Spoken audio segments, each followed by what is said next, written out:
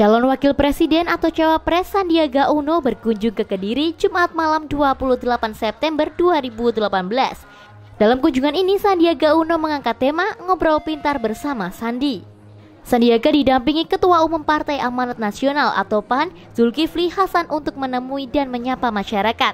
Pria berkacamata itu mengajak berdiskusi ke semua elemen yang hadir dalam kegiatan kali ini.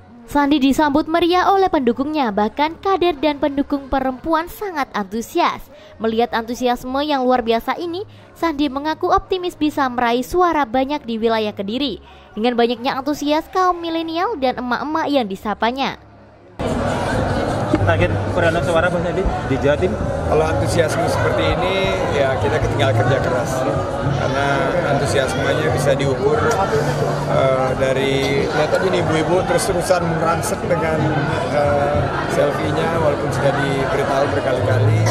Tapi ini adalah uh, animo masyarakat kita nggak bisa bendung dan ini semakin hari semakin menggulung kita bekerja ikhtiar kerja keras kerja cerdas kerja tuntas penuh dengan uh, kerja ikhlas. Kita tawakal saja nanti hasilnya. Allah yang akan menentukan Sementara itu menurut Zulkifli Hasan selaku Ketua Umum DPP Partai Amanat Nasional dalam Pilpres 2019 ini pasangan Capres dan Cawapres yang diusungnya akan bekerja lebih bagus dan giat guna memperluas lapangan pekerjaan dan memberantas kemiskinan kita memang harus bekerja keras Jawa Timur ya agar bisa memenangkan uh, pertempuran karena memang battle-nya itu ada di Jawa Timur menurut saya.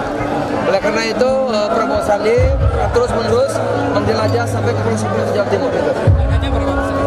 Soal hasil nanti tawakal saja. Yang paling yang paling penting adalah bekerja keras, menyampaikan bahwa Prabowo Sandi bisa bekerja lebih baik.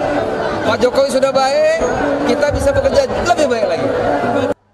Sementara itu di akhir acara para emak-emak pendukung antusias calon wakil presiden Sandiaga Uno berebut foto dengan Sandi.